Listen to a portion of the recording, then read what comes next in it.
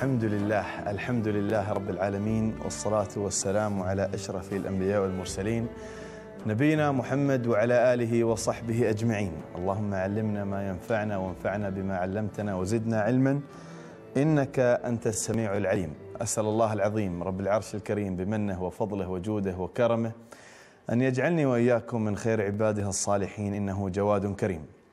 هذا البرنامج برنامجكم وأرقام التواصل راح تكون موجودة معكم على الشاشة. ونفرح بمداخلاتكم.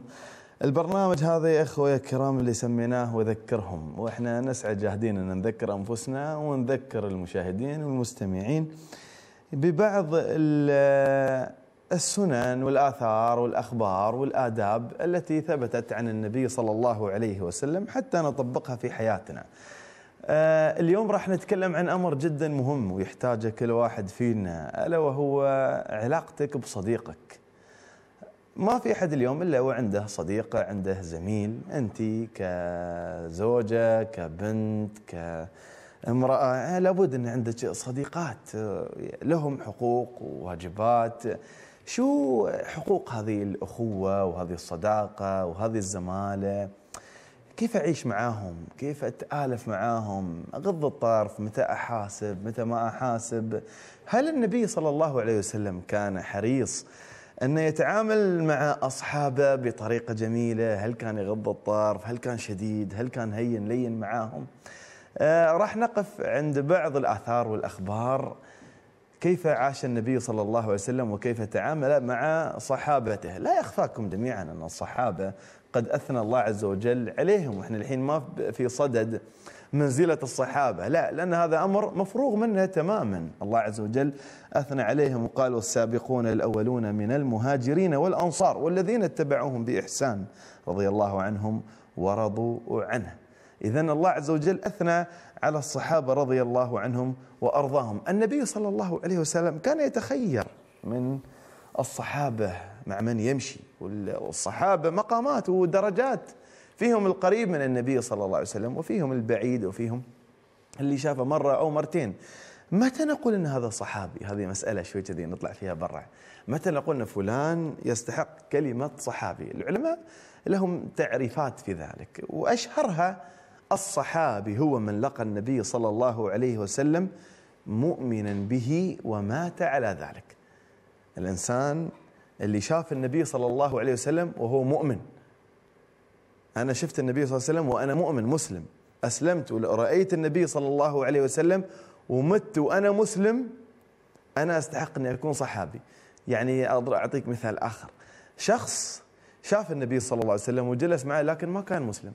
يوم رجع لبلده أسلم ومات وهو لم يلتقي بالنبي صلى الله عليه وسلم مع بإسلامه. هذا العلماء يقول ما يسمى صحابي. واضح؟ فالصحابي هو الذي يشترط فيه أنه لقى النبي صلى الله عليه وسلم مؤمنا ومات على ذلك. هذا هو يستحق كلمة صحابي. طيب علي بن أبي طالب رضي الله عنه قال كنت أسمع النبي صلى الله عليه وسلم دائما يقول آه خرجت أنا وأبو بكر وعمر دخلت أنا وأبو بكر وعمر آه ذهبت أنا وأبو بكر وعمر. فكان النبي صلى الله عليه وسلم يعني تقدر تقول عنده خواص من الناس. ما كان يصحب أي حد مع أن الصحابة كلهم عدول رضي الله عنهم وأرضاهم. فأنت اليوم في هذه الحياة مو بتعق حياتك ووقتك وجهدك و... مع أشخاص أنت ما تعرف معادنهم ولا تعرف نخوتهم ورجولتهم. ومدى هم يعني حريصين على أن تتحقق فيهم كلمة صديق معك لا تمشي مع أي أحد لا تمشي مع أي أحد اختر من تصاحب إذا ما صحبت القوم فصاحب خيارهم. ولا تصحب الأردى فتردى مع الردي عن المرء لا تسأل وسل عن قرينه فكل قرين بالمقارن يقتدي. لا تمشي معي أحد. صاحب الأخيار تكن مثلهم. قل لي من تصاحب أقول لك من أنت. فتخير يا الغالي من تصاحب في حياتك. اللي يقودك للخير يعلمك الفضيلة يعلمك السنن والأخبار والقراءة وحب الدين وحب الوطن وحب ولاة الأمر ويرفع من قدرك ويزكي أخلاقك يعني آه، أنا أتصل علي شخص. يقول يا أخي أنا كنت غير قبل فترة ومن أربع شهور صراحة تغيرت سلوكياتي ويعني وصرت أتكاسل في الصلاة وقبل كنت محافظ على الصلاة بوقتها. والحين صراحة صرت أنام وصلاة الضحى أصليها الحين من فترة لفترة قبل لا كنت مواظب على هذه السنن وكذا. فتغير وضعي ما أعرف ليش. فأنا يعني أسولف مع عفوا أقول له لعل دخل عليك شيء في حياتك طارئ. في حاجة دخلت في حياتك غيرت من سلوكك غيرت من فكرك غيرت من هواياتك من ميولك. نبه شوي عن يومياتك عن خباياك. أنت شو مخبي مع نفسك؟ فسكت الرجل شوي كذي. قال لي امبلى أنا تعرفت على شلة شباب جداد لأني اشتغلت في مكان عمل جديد وهذا المكان العمل الجديد اضطريت إني أتعرف على مجموعة شباب جدد.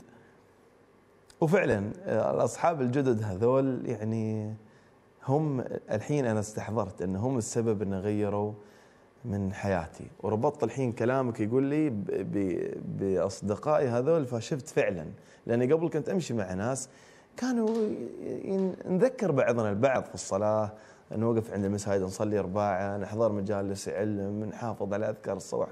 عشان الربيع عندي في السيارة أشوفه يقول أذكار الصباح والمساء وغيره فأتعلم منه وأقول أنا بعد. هذول ما عندهم هذه المسائل.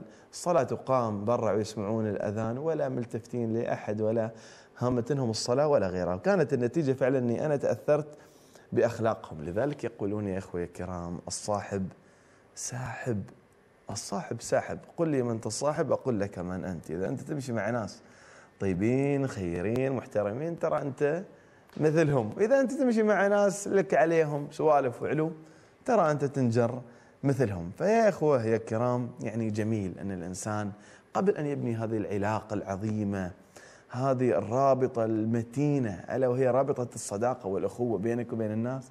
لا تصاحب أي أحد لا تصاحب أي أحد. صاحب الناس الفضلاء خيار القوم. لا تصاحب أي إنسان. هذا الصاحب هذا الصديق إذا الله وفقك وطاحت إيديك بإنسان فعلا يستحق كلمة صديق حافظ عليه وتمسك فيه عض عليه بأسنانك لا تفتش عنه. ولا تخليه يروح عنك أبدا. وكن حريص كل الحرص أنك ما تزعله ولا تضايق به ولا تجرحه.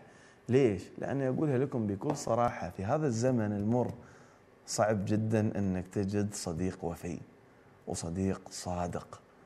فالصديق الصادق هو الذي صدقك صدقك بمحبته صدقك بنصحه صدقك بتوجيهه وإرشاده صدقك ب بعطائه بمخوته بنخوته بروحته وجي. في هذا الزمن للأسف الشديد تجد من الصعوبة أنك تجد هذا الإنسان. موجودين. إحنا ما نبغي نقول إن ما في شيء اسمه صداقة وانتهت هذه المعاني الجميلة. قبل كانت الحين لا ما في. الحين ما في صديق لا لا في الخير موجود في أمة محمد صلى الله عليه وسلم إلى قيام الساعة. فتجد يعني من المعادن والجميلة تحصل واحد يمشي مع شخص أكثر من 35 سنة. يقول لك أنا هذا صاحبي عندي من أيام الروضة أمشي معه. بتمسك فيه. هذول المعادن الطيبة هي الإنسان يتمسك فيها ويستمر معاها ويغض الطرف عن زلتها وهفوتها حتى تستقيم. بس العلاقة هذه وتمشي. أنت تجد اليوم البعض آه وأنا الحين أتكلم أنت فكر شيء كذا مع نفسك وتقول صادق في ناس كذا بالطريقة هذه. كيف؟ كل يوم في مجلس. كل يوم له شلة جديدة كل يوم عنده أصدقاء جدد. يوم في مجلس فلان يوم جالس عند الرصيف الفلاني هذيك الشلة. أسبوعين ثلاثة جالس عندهم وضارب وياهم وطلع. ولا الحبيب وين؟ والله في عزبة فلان جالس وجالس معاهم وسوالف وعلوم وغيره شهر شهرين دقوا الجماعة ضاربه وطلع. وشوي ولا الحبيب؟ كل يوم في وادي كل يوم مع شلة. ليش؟ هذا يعني النبي صلى الله عليه وسلم يقول لا خير في من لا يألف. لا خير في من آه، لا يألف ولا يؤلف. الإنسان اللي ما يستطيع أن يتوالفون معاه ربعه وإخوانه يحبهم ويحبوه ويستمر معاهم هذا ما هذا صعب الحياة معاه. صعب إنك تعاشره وصعب إنك تمشي معاه. هذا الشخص متعب. اللي يتنقل من نعم جميل إن الإنسان تكون عنده صداقات لكن لابد أن يكون لك هناك خواص من الناس. خواص يعرفون أسرارك يعرفون مداخلك ومخارجك. يعني تبوح بمشاكلك وهمومك لهم وتخبرهم عن يعني أمورك الخاصة وين تروح وين تي شو تحتاج شو تشتكي شو شو يعني يعرفون خبايا حياتك. أنت شو لابس؟ تحت هذه الكندورة يعرفون. يعني اجعل لك اختار ناس معادن أصيلة اجعلهم هم خواص أصحابك. أنا ما يمنعني أنا أروح أزور فلان أجلس معاه شوي أسلم عليه في هذا الميلس وبروح بعدين في مكان فلاني لكن عندي مجموعة هذول خواصي على قولتهم خاصة الخاصة مو بأي أحد. لا هكذا أنت يعني ترتاح مخك يرتاح لا تشتت فكرك كل يوم في مجلس وكل يوم في خيمة وكل يوم في عزبة وكل يوم في مكان وكل يوم في مقهى وكل يوم لا لا لا. ريح نفسك مع شلة معينة تحبهم يحبونك عقلهم ثقافتهم فكرهم هواياتهم جميلة على أدب وذوق وأخلاق رفيعة تعيش معاهم مرتاح. كيف أحافظ على صديقي؟ أنا عندي صديق أنت عندك صديقة. كيف تحافظين عليها؟ كيف تخليها هذه الصديقة تتمسك فيك وما تفتش عنك ابدا ولا تهدك؟ كيف؟ هناك سبل وهناك طرق وهناك أمور من أعظم هذه الأشياء يا إخوة يا كرام أني أخبر الشخص اللي أمامي أني أنا أحبه. جاء رجل إلى النبي صلى الله عليه وسلم فقال يا رسول الله أني أحب فلان. جاء للنبي صلى الله عليه وسلم قال أنا صراحة أحب فلان. فقال له النبي صلى الله عليه وسلم أخبرته أنت أخبرت هذا الشخص أنك تحبه؟ قال لا. قال اذهب فأخبره. روح وقول له أنا تراني أحبك في الله. يا أخي أخرج مشاعرك ومكنونك والمكنون الجميل اللي في داخلك والمشاعر الجياشة لمن لمن أنت تحمل له حب في قلبك. قول له أنا أحبك. أنا أحبك وأحترمك وأعزك في الله عز وجل. وأنت من خيرة الناس اللي مروا عليه في حياتي. يا أخي أخبره. هذه سنة مهجورة اليوم بين الناس. يحبه ويحترمه ولكن ساكت بينه وبين نفسه. قول له أنت يوم بتقول له كذي أنت بتأثر قلبه. كم هذه الكلمة عظيمة إذا سمعها الرجل اليوم من شخص وما أجملها إذا سمعها الرجل من زوجته. يا أخوة هذه الأشياء تجدد العلاقات مع البشر بالذات مع الزوجة. يا أخي أنت قد تبتلي بزوج جاف عاطفيا ما تسمعي منه كلمة طيبة ما تسمعي منه. انت انت بادري قولي له أنا أحبك. والله إني أحبك وأحترمك يا زوجي يا تاج راسي. وغبت عنه واشتقنا لك من هالكلام. ترى هالكلام يأسر القلب ويجدد العواطف لأنه طبيعي. إذا انت كتبتي له كذي هو بعد بيرد لك ويقول حتى أنا أحبك وأحترمك. يرجع الرجل من جديد يراجع حساباته ويفكر المرة هذه يا تكتب لي أنا أحبك وأنا أحترمك وأنا كذا. أنا شو قدمت لها هل أنا بادلتها هذه المشاعر الجميلة وأخبرتها بعد أني أنا أحبها وأني وأنا سبقت مرة من المرات وقلت هذا الكلام لها أني أنا أحبك؟ جميل يا إخوان أن نعمل إعادة تشغيل لحياتنا مع الناس بالذات مع أهل بيتنا. إعادة تشغيل إعادة تشغيل على قولت في, في الكمبيوتر ريفرش للعلاقات مع الناس. فأرجع للصداقات إذا أنت تحب شخص وروح له وقول له أنا أحبك في الله أنا أحبك في الله. أنت تأسر قلبه أنت كذي تجعل علاقتك معه يعني منطلقة آه وهي مليئة بالإحسان والعطاء. كل ما بي بيصير موقف بينك وبينه بيتذكر أنت هذاك اليوم قلت له ترى أنا أحبك في الله. ما راح يتجرأ أنه يهينك ولا راح يتجرأ أنه يغلط عليك. وراح يهتم فيك ويراعي ظروفك ويراعي حياتك ويتقرب منك أكثر ويفتح قلبه لك إذا سمعك. وإذا سمع منك هذه الكلمة والله أنا أحبك. لذلك من الذين يظلهم الله عز وجل في ظله يوم القيامة يوم لا ظل إلا ظله رجلان تحابا في الله. اجتمعا عليه وتفرقا عليه. رجلين اثنين. اجتمعوا مع بعض. تحابا في الله. يحبون بعض في الله. مو بيحبون بعض. ريال يمشي مع واحد أمرد ولد صغير. مثل هالسلوكيات اللي نشوفها للأسف. آه، بين فترة وفترة. يعني هذه الثقافة أنا ما أعرف متى بتنتهي. المشكلة إنها ما زالت موجودة لليوم. تحصل واحد يمشي مع واحد صغير. هذا ريال عمره شو كبره؟ في واحد صغير في السيارة.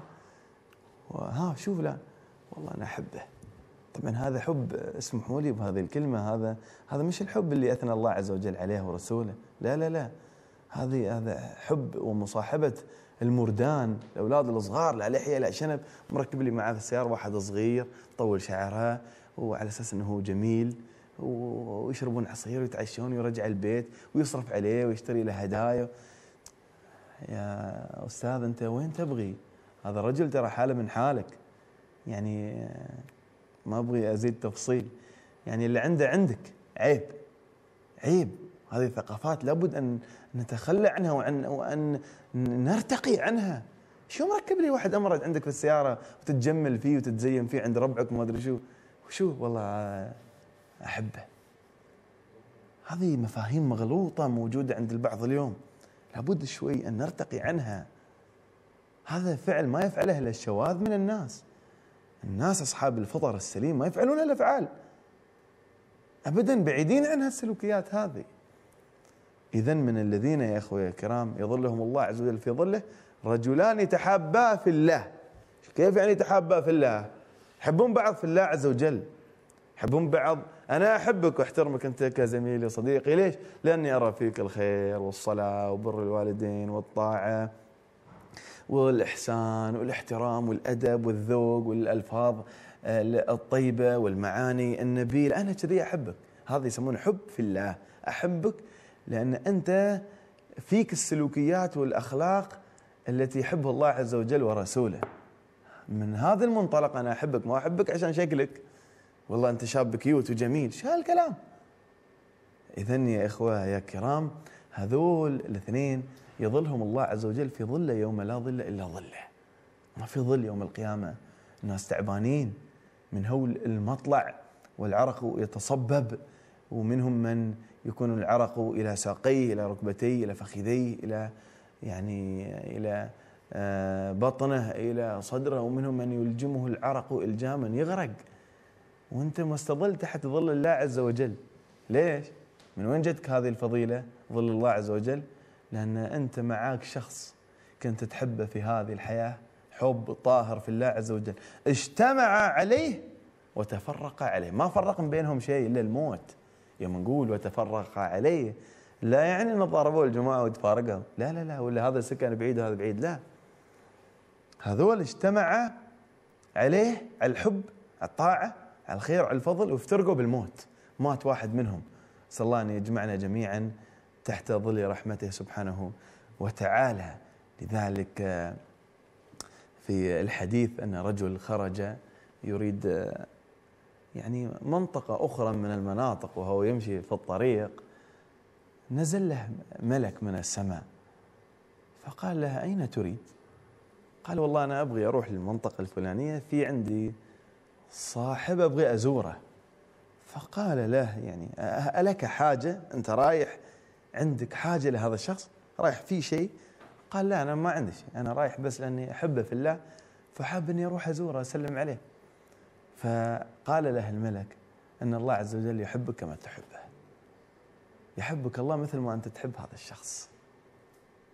شوف كيف يعني المنزلة الجميلة كم يتعنى البعض شغل سيارته ويتعني ويسافر من مكان لمكان ومن دولة لدولة ومن منطقة لمنطقة. وين رايح فلان؟ والله ما عندي شيء عندي صاحب قديم رايح أسلم عليه رايح أزوره. هذه تراه هو يوم بي يوم بيعرف إن أنت جاينا ومتعني من مسافة طويلة ترى راح يفرح وراح يستانس وراح يطير فرح. انت جايني أنا أعرف إن أنت بيتك في آخر الدنيا جايني أنا هني. ليش؟ والله يا اسلم عليك يطمن عليك من زمان ما شفتك.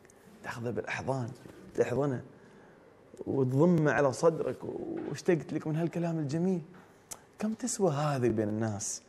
لابد يا إخوان أن نحقق يعني هذه الأشياء الحلوة اليوم في حياتنا. لابد لذلك النبي صلى الله عليه وسلم كان يسأل يا رسول الله من أحب الناس إليك؟ من النساء؟ قال من قال من النساء آه، من من النساء عائشة. قال ومن الرجال؟ قال أبوها. أبوها أبو بكر الصديق رضي الله عنه وأرضاه. فالنبي صلى الله عليه وسلم كان يسأل أنت تحب منه أصلا؟ من النساء. فكان يقول. ومن الرجال؟ أحب. أبو بكر الصديق أنا أحبه. فأنت اليوم يعني جميل إنك تخبر أصحابك تخبر زوجتك تخبر أهلك أمك وابوك ترى أنا أحب فلان ولها قدر عندي ولها كذا. فاصل يا أخوي الكرام ونعود اليكم من جديد.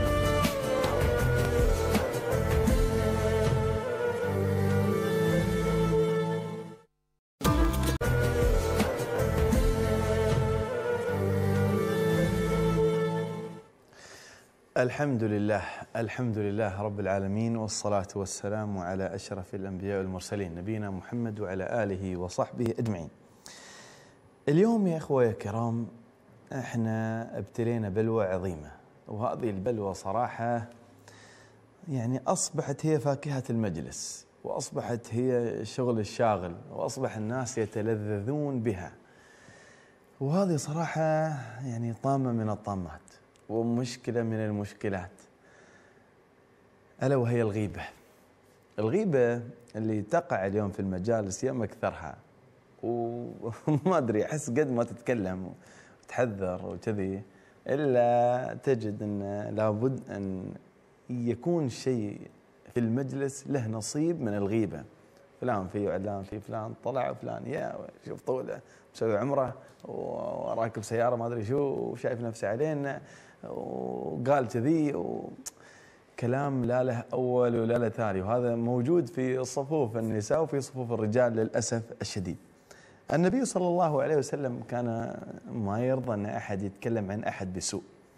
ما يرضى ابدا، لذلك وقع شيء بين الصحابي الجليل خالد بن الوليد ومع صحابي آخر نسيت اسمه، يعني وقع بينهم كلام شيء كذا. فغضب النبي صلى الله عليه وسلم وقال لا تسبوا أصحابي، لا تسبوا أصحابي فوالذي نفس محمد بيده. لو أنفق أحدكم مثل أحد ذهبا. جبل أحد شفت كبره؟ لو أنفق أحدكم مثل أحد ذهبا ما بلغ مد أحدهم ولا نصيفه. يعني لهم من الفضل والخير الكثير. لو شو سويت؟ أنت ما تصل لمكانة الصحابة ومنزلتهم في دين الله عز وجل. فالنبي صلى الله عليه وسلم كان يدافع عنهم. جاءت أحاديث كان صلى الله عليه وسلم يقول ما من امرئ مسلم يرد عن عرض أخيه في غيبته. ما من امرئ مسلم يرد عن عرض أخيه إلا كان حقا على الله أن يرد عنه نار جهنم يوم القيامة. دافع عن أخوه. نشوف أنه واحد يتكلم في صاحبك وفي صديقك. تشوفي واحد وحدة تتكلم عن عن صديقتك وتذمها في مجلس من المجالس. دافع عنه دافع عنها. لا تسمحون أن ناس يتكلمون. بأصدقائكم وبأرحامكم وبمن تحبون وبأي أحد. لا تسمحون. عفوا ما أسمح لك أخوي تتكلم هذا الكلام أمامي. عندك شيء روح اتكلم عنه. هذا ها. ما نمر المسلم يرد عن عرض أخيه يدافع عن أخوه. إلا كان حقا على الله أن يرد عنه نار جهنم يوم القيامة. الله يصرف عنك نار جهنم يوم القيامة إذا أنت كنت ترد وتدافع عن عرض أخوك. ليش نرضى اليوم ونسمح إن يعني يتكلمون في أصدقائنا وفي تطور الوضع يا جماعة. إخوان اليوم وصل فيهم الحال إن يغتابون بعض. إخوان أخوة أخوة. يعني أنت تطلع مع صديقك هذا صديقك يتكلم في إخوانه يطعن في إخوانه معاك. هذا أخوي في وفي. هذه غيبة. شو الغيبة؟ الغيبة هي ذكرك أخاك بما يكره. هذا تعريف الغيبة. اني أنا اتكلم عن أخوي بشيء ما يحبه. زين فيصل هاي بس عادية أنا اشوفها. انت تشوفها عادية هو يشوفها مو بعادية. مو على كيفي ولا على كيفك. هو ما يرضى هو ما يرضى. يعني أنا عندي صديق ابن ابن عم هذا الصديق غير اسمه غير اسمه من كذا إلى كذا. أنا ما بقادر يعني اني أضبط لساني على الاسم الجديد. أنا أكلمكم اني عني أنا شخصيا. لساني دائما على يعني الاسم القديم. أنا مو بقادر أشيل الاسم هذا من لساني. وأنا أستمتع يوم اناديه بالاسم القديم لأنه زميل طفولة. هو ما يرضى. يا أخي أنا غيرت اسمي. أنا غيرت اسمي. ليش أنت ما زلت متمسك والله فلان فلان فلان أنا غيرت اسمي. أنا هني ما لي حق. وما يجوز لي إني أنا أستمر بالاسم القديم الرجل ما يرضى مغير اسمه ليش؟ على أساس ان الناس ينادوه بالاسم الجديد مو على أساس الناس ينادوه بالاسم القديم. لكن أنا يعني لساني كذي خلاص مشى على الاسم القديم وأسأل الله عز وجل أن يجعلني يعني أناديه بالاسم الجديد لكن يا أخوي الكرام الشاهد من كلامي هذه إذا كان هو ما يرضى فيها تعتبر غيبة غيبة بس لأني أنا ذكرت اسمه القديم وهو ما يحبه غير اسمه. هذه غيبة. ياخذ من حسناتي يوم القيامة هو. فما بالك اليوم إحنا نتكلم في الناس بأمور طعن في أعراضهم وفي شخصياتهم وفي آه ذاتهم وفي كل شيء. طعن تجريح.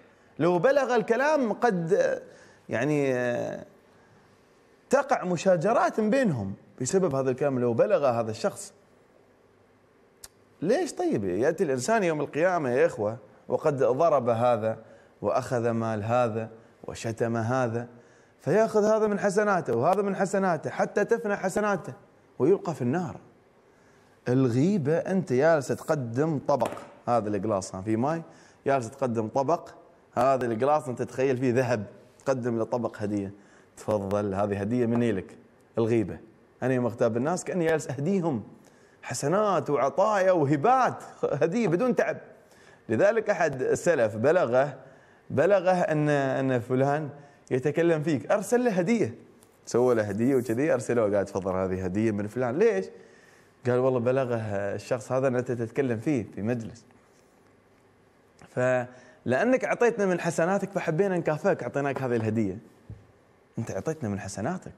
يوم تغتابنا. لا بعد مو بكذي بس. إلى أن تفنى حسناته. تفنى حسناته يعني أنت تكلمت فيني يوم القيامة وطعنت في في شخصي أنا يوم القيامة أخذ من حسناتك. خلصت حسناتك لكن أنت متكلم فيني أكثر. أنا بعد لي حق عندك. أنت حسناتك خلصت. تؤخذ من سيئاتي تلقى على ظهرك. تخيل موضوع كم كبير. هذه مشكلة يا إخوة إحنا اليوم واقعين فيها. مشكلة كبيرة. فاكهة المجالس اليوم هذا الموضوع. فلان وعلان فلان نجتمع. يعني اجتماع خصيص بس على أساس إننا نتكلم في الناس. فلان فلان شو لي في خلق الله؟ ترى الإنسان إذا بس يعني ضغط على نفسه شوي وعود نفسه إنه يقوم هذا السلوك ويتركه راح يتركه. هذا من حقوق الأخوة. إحنا اليوم نتكلم عن الأخوة والزمالة والصداقة. هذه من حقوقها. أني أنا أدافع عن عن عرض صديقي ولا أخوي ولا زميلي ولا أي أحد. يا أخي ليش تتكلم عنه؟ عندك شيء يروح له بوجهه تقدر تقول هالكلام؟ يلا كانك ريال روح بوجهه وتكلم هذا الكلام. ليش من من وراه تتكلم هذا الكلام وتقول هذا الشيء عنه؟ ما يجوز ما لك حق. فالله يعصمنا الصراحه جميعا يعني والله قل ما تجد مجلس اليوم لمكان الا في هذه البلوى موجودة للأسف الشديد. يا إخوة هذه ترى كبيرة من كبار الذنوب. الغيبة من كبار الذنوب مو بأي ذنب. أنا أصلي وأصوم وأتعب وأتصدق واذكاري يوم القيامة وين وين راحت اعمالها؟ خذوها خذوها الجماعة. ما زلت ما جالس أجرح فيهم ليل نهار وأتكلم فيهم وأطعن فيهم، خذوا عني أعمالي وتعبي كلها راح. راح بكل بساطة. وين الصيام والحج والصلاة مع السلامة. ليش؟ النبي صلى الله عليه وسلم يعني شوف هذه القصة الجميلة. يقول أبو الدرداء حدثت واقعة بين أبو بكر الصديق وعمر. كانوا يتحاورون فيعني عصبوا من بعض شوي فخرج عمر من من المجلس زعلان وراح. فتبعه أبو بكر الصديق يعني يقول له استغفر لي يعني سامحني أنا أعتذر منك وكذا. أبو بكر الصديق شوف انت تتكلم عن أبو بكر الصديق والصحابي الثاني عمر رضي الله عنه. فتبعه أبو بكر الصديق يقول يعني استغفر لي استغفر لي. دخل أبو بكر عمر بيته وسكر الباب. زعل أبو بكر الصديق. كيف كذي ورجع أبو بكر الصديق يريد أن يذهب إلى النبي صلى الله عليه وسلم وقد مسك يعني طرفا من ثوبه. شاد ثيابه كذي ويمشي. يعني تخيل المشهد. ويمشي أبو بكر الصديق إلى أن وصل ل للنبي صلى الله عليه وسلم. فرآه النبي صلى الله عليه وسلم من وجهه عرف أن أبو بكر اليوم في شيء. فقال النبي أبو بكر للنبي صلى الله عليه وسلم يا رسول الله وقع بيني وبين عمر كذا كذا كذا. يعني أغلق في وجهي الباب ورفض أنه أنه يصالحني.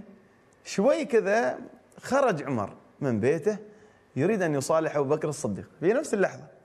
راح بيت أبو بكر الصديق يسأل وين أبو بكر؟ قال ماشي مو موجود أبو بكر في في البيت. راح أبو بكر عمر يبحث عن أبو بكر الصديق. وإذا أبو بكر الصديق موجود وين؟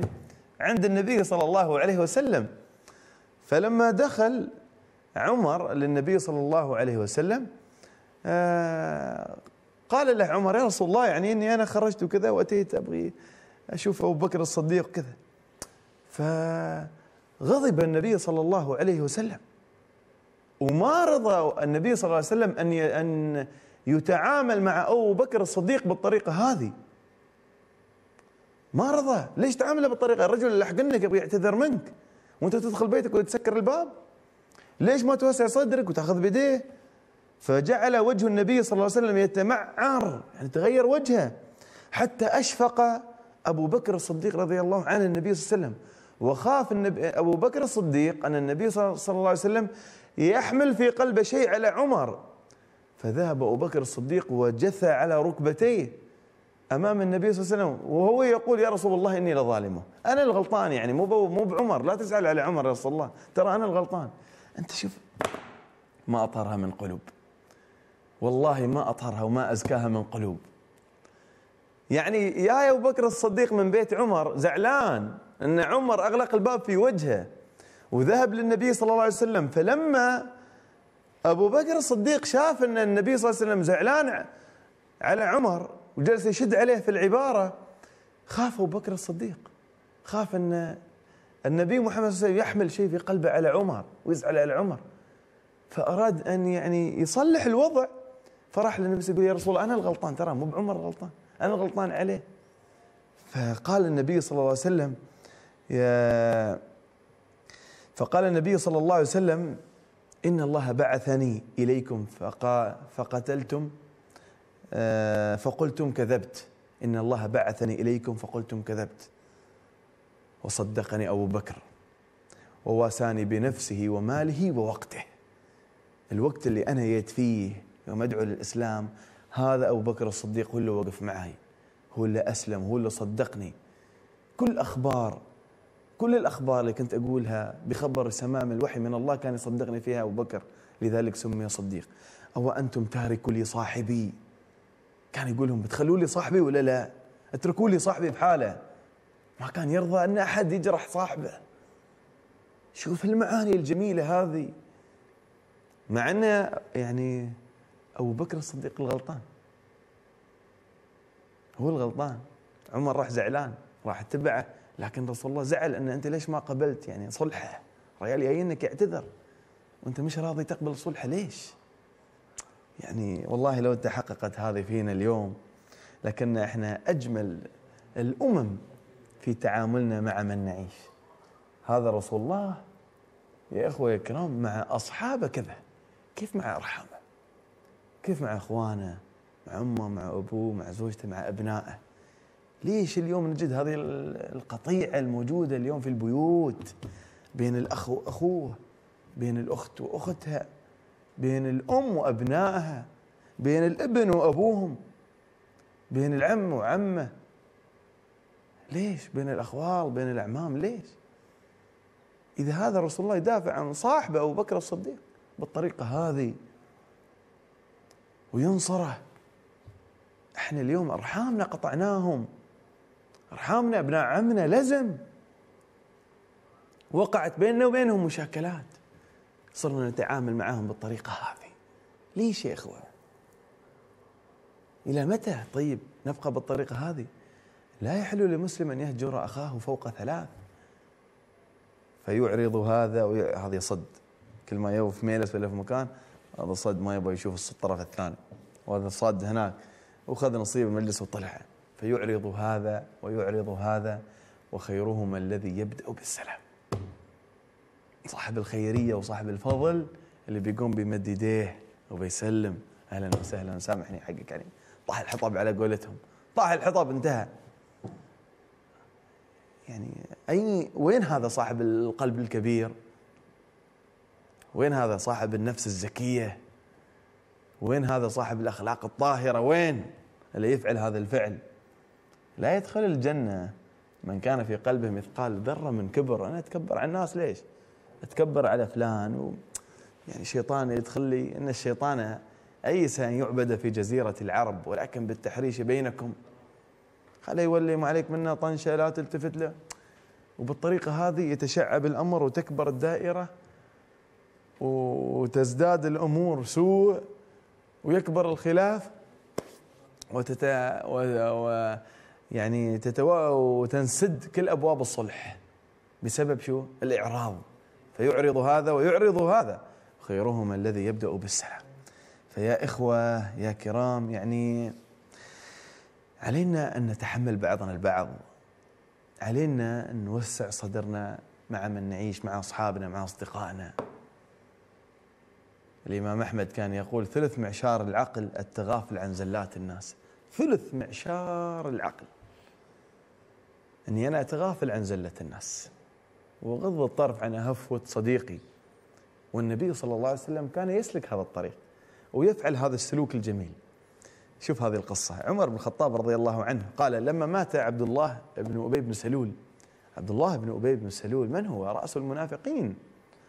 مات عبد الله بن أبي بن سلول فوقف النبي صلى الله عليه وسلم يبغى يصلي عليه في المسجد. وقف بوجه عمر بن الخطاب وأخذ من ثيابه. تخيل معي. يعني عمر بن الخطاب واقف في وجه من؟ النبي محمد صلى الله عليه وسلم. وأخذ من ثيابه الله يعلم وين مسكه. من ثيابه. ويقول له وهو يقول له يا رسول الله يعني كيف تصلي عليه؟ هذا منافق رأس المنافقين. أنت تعرف من هو؟ عبد الله بن أبي بن سلول كيف تصلي عليه؟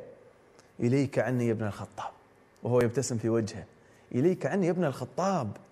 خذ عني وخر عني. أنا أعرف اللي أسويه.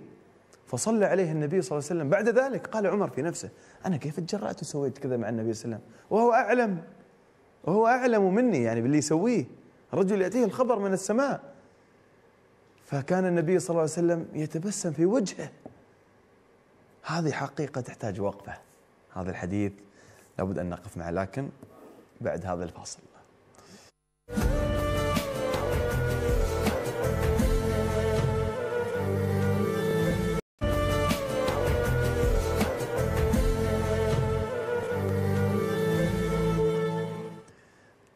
الحمد لله رب العالمين والصلاة والسلام على أشرف الأنبياء والمرسلين نبينا محمد وعلى آله وصحبه أجمعين.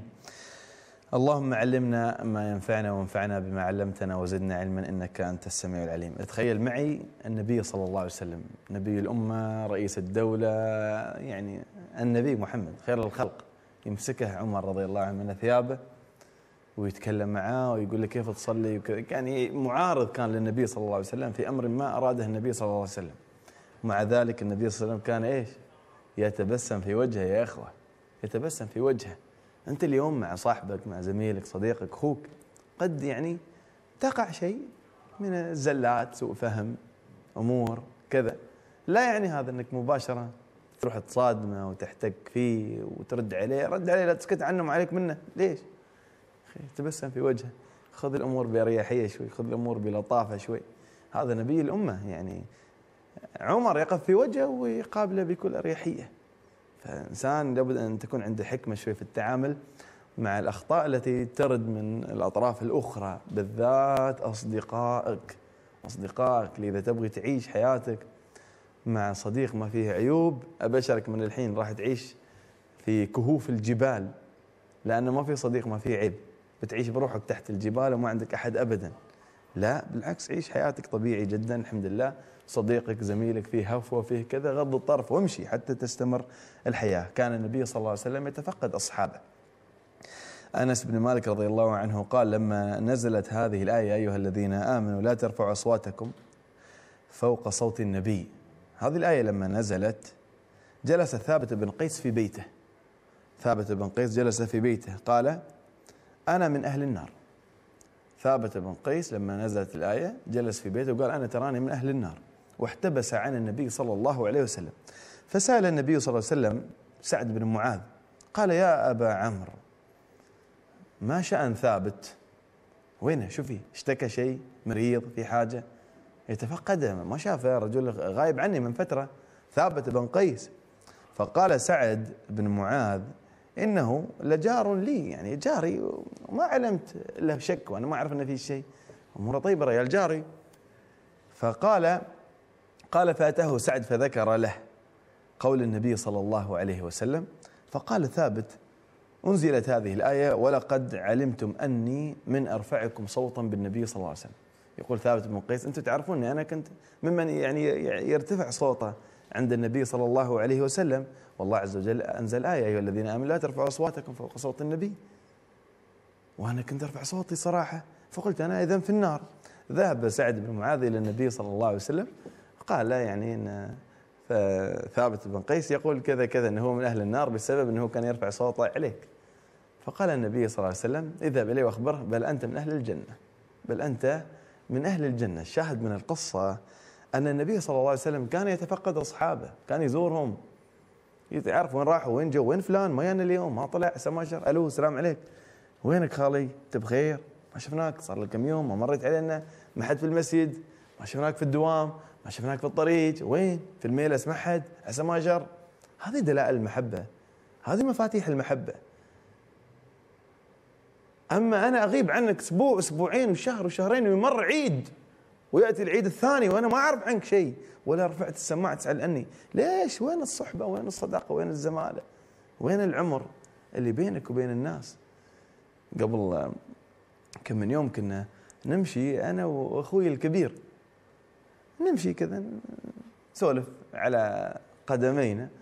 فكنا نسولف عن شخص معين فلان كيف أمورك؟ قال تصدق يا أخي بيني وبينه صداقة قديمة وزمالة. والله ولا يسأل يأتي العيد ويروح العيد ما يرفع السماعة يتصل. فهو زعلان أنا حسيته زعلان. زعلان لأنه ليش؟ لأنه يقول لك هذا صديقي هذا بيني وبينه زمالة قديمة جدا. يأتي العيد والعيد الثاني ما يرفع السماعة يقول السلام عليكم. امرض أطيح يصير فيني شيء؟ ما يسأل عني. أي صديق هذا؟ صديقي تحبني يسأل عني يهتم فيني يهتم لأمري. يخليك قريب مني يخليني أحس إن أنت مهتم لأمري. يهمني. يهمك وضعي مرضي سفري علاجي حالي بيتي عيالي عملي فلوسي كل شيء يهم. أنت هني صديقي. ما ترضى إني أنا غبت. النبي صلى الله عليه وسلم ما رضى الناس يعني ثابت بن قيس يغيب وين راح صاحبكم؟ شوفوه يا جماعة الخير. فيا إخوة يا كرام يعني علينا أن نتفقد من نحب النبي صلى الله عليه وسلم. هذا قرة بن إياس رضي الله عنه. يقول أن رجلا أتى النبي صلى الله عليه وسلم ومعه ابن له صغير يلعب. فقال له النبي صلى الله عليه وسلم أتحبه؟ النبي صلى الله عليه وسلم يقول للأب يعني أنت تحب ابنك هذا؟ قال نعم يا رسول الله أحبك الله كما أحبه. أنا أحبه وايد. فمات. مات من؟ الابن الصغير هذا مات. فقده النبي صلى الله عليه وسلم. فقد الابن الصغير والأب. قال فسأل عنه فقال لأبيه سأل عنه النبي صلى الله عليه وسلم فذهب إلى أبوه قال له أما يسرك أن تأتي بابا من أبواب الجنة إلا وجدته عنده يسعى يفتح لك باب الجنة؟ فقال نعم يا رسول قال هو ذلك. فالنبي صلى الله عليه وسلم كان يواسيهم إذا صارت عندهم ظروف صارت عندهم مشاكل هذا مات ابنه. جاء له النبي صلى الله عليه وسلم وبشره قال هذا طفل. جاءت نصوص إن الابن الصغير إذا مات يقف عند باب الجنة. يرفض دخول الجنة يقول ما أدخل الجنة؟ إيدي بيد امي وابوي وندخل سوى الجنة. ندخل سوى الجنة. فيعني هذه بشارة لمن فقد أبناء أطفال ورضع وغيره. هذول يشفعوا لكم يوم القيامة ويدخلون معكم الجنة. أسأل الله أن يمتعنا بأبنائنا وأن يرزقهم الصحة والعافية ولا يرينا في من نحب مكروه. قولوا آمين. النبي صلى الله عليه وسلم كان يحزن على وفاتهم. عائشة رضي الله عنها قالت رأيت النبي صلى الله عليه وسلم يقبل عثمان بن عثمان بن مضغون. بن مضغون وهو ميت حتى رأيت الدموع تسيل على خديه صلى الله عليه وسلم. عثمان بن مضغون هذا مات. قتل في أظن في معركة مؤتة أظن والله أعلم. فجلس النبي صلى الله عليه وسلم يقبل رأسه وهو يبكي يبكي صلى الله عليه وسلم. وعائشة تقول رأيت والدموع تسيل على خديه. لما مات صاحبه اشعر يا أخي من يعيش معك صاحبك زميلك ترى أنا أحزن لحزنك وأفرح لفرحك. اليوم الناس وين تبو؟ وين؟ أنت كيف تعرف اليوم معادن الناس الأصيلة؟ معادن الناس الأصيلة يا أخوي الكرام تعرف بالأفراح وبالأحزان. اثبت لي أن أنت تحبني بأفراحي أبغى أشوفك أول واحد واقف. وبأحزاني أبغى أشوفك أول واحد متواجد. هذه حقيقة الصحبة هذا الميزان. اللي يثبت للناس أن أنت قريب منهم. يوم صارت عندي مشكلة وضائقة وعزة أو غيره أنت أول واحد واقف تواسيني. ولما أنا عندي فرح بتزوج ولا بزوج بنتي ولا بزوج ولدي ولا ولدي متخرج من جامعة أنت أول واحد ترفع السماعة تهنيني. هذه دلائل المحبة. هذه المفاتيح اللي من خلالها يستطيع الإنسان أن يأسر قلب من يعيش معه ومن يخاويه. مش المحبة بس كذي سوالف وضحك في القهوة وقيل وقال لا المحبة لها معاني نبيلة. إذا تحققت في حياة الإنسان يسعد في حياته يا أخوي الكرام. النبي صلى الله عليه وسلم لما مات ابنه إبراهيم دمعت عينه. قيل له حتى أنت يا رسول الله تبكي؟ قال إن القلب ليحزن وإن العين لتدمع وإن على فراقك يا إبراهيم لمحزونون. ولا نقول إلا ما يرضي الله عز وجل. إنا له وإنا إليه راجعون. طيب خلينا نطلع شوي. كيف نجمع بين حديث النبي صلى الله عليه وسلم إن المؤمن ليعذب ببكاء أهله عليه؟ وبين هذه النصوص رسول الله بكى. ها؟ رسول الله بكى. على بعض الصحابة وبكى على ابنه إبراهيم. وعندنا حديث اظنه في الصحيح. النبي صلى الله عليه وسلم يقول إن المؤمن ليعذب ببكاء أهله عليه اللي يموت. إن الميت ليعذب إن الميت الحديث إن الميت ليعذب ببكاء أهله عليه. كيف تجمع بين هذه النصوص وبين النبي صلى الله عليه وسلم بكى لبعض الصحابة؟ العلماء لهم في ذلك تخاريج يا أخوي الكرام. ليش الحين؟ ليش ليش صار هذا الإشكال؟ لأن عندنا آية قرآنية تقول ولا تزر وازرة وزر أخرى. يعني أنا ما أتحمل ذنبك. أنت تبكي أنا إيش ليه أتعذب في قبري؟ كيف نجمع بين النصوص؟ لا تأتيني هني. يخرجوا لي أصحاب الأفكار. شغل عقلك شوف.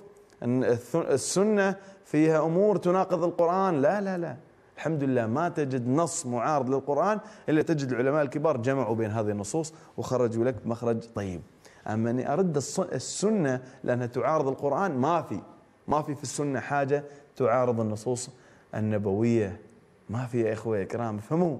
ما يأتيك أحد يلبس عليك يقول شوف هذا هذا الحديث. في البخاري يعارض الآية القرآنية. كيف تصدقون البخاري أنتم كيف تقولون البخاري كذا وهو يعارض القرآن النص القرآني لا يا إخوة. هناك علماء صنفوا وكتبوا كتب وجمعوا بين هذه النصوص اللي ظاهرها التعارض وجمعوها وخرجوا فيها في مخرج صحيح كيف تفسر هذه النصوص. لذلك هنا العلماء كيف فسروا هذا هذا المعنى؟ قال لك الميت يعذب ببكاء أهله عليه إذا كان إذا كان هو أوصاهم قبل لا يموت. إذا أنا مت فإذا إيش يقول هذاك البيت؟ فإذا أنا مت فابكيني وشقي علي وشقي وشقي علي الثوب يا أم معبدي. إذا أنا مت أبكي وشق الثوب يا أم معبدي. يوم أنا ببكي يوم أنا بموت. فهذا أوصى أهله أن يبكون وينوحون عليه. طبعا البكي لإذراف الدموع هذا ما في حرج. كان البكاء واللطم وشق الجيوب وغيره. والنائحة هذه اللي تبرى منها النبي صلى الله عليه وسلم أنا بريء من النائحة والشاقة وغيرها كما جاء في الحديث. إذا هو أوصاهم قال لهم ابكوا ترى أنا إذا مات لا تخلوا شيء يصيح وصياح لهد والعلماء لهم تفسير آخر قالوا معناه إذا كان هو يعلم أن هذول الناس كل ما مات عندهم أحد أصلا يسوون كذي. وما حذرهم قال لهم يا جماعة لا تبكون. ترى هذا أمر الله وقضى الله عز وجل وقدره. نعم الانسان يحزن تدمع عينه لكن بكي وشق الجيوب هذا هو ما يجوز. اذا هنا إحنا عالجنا النصوص الحمد لله رب العالمين وما أنكرنا السنة وردينا الحديث ولا غيره استفدنا من الحديث واستفدنا من الآية القرآنية. النبي صلى الله عليه وسلم كان يستشير أصحابه انطلاقا من قوله عز وجل وشاورهم في الأمر. وشاورهم في الأمر. جميل أنت معك صاحبك زميلك السلام عليك فلان حالك؟ والله بيني وبينك أنا أفكر أبني بيت وكذا.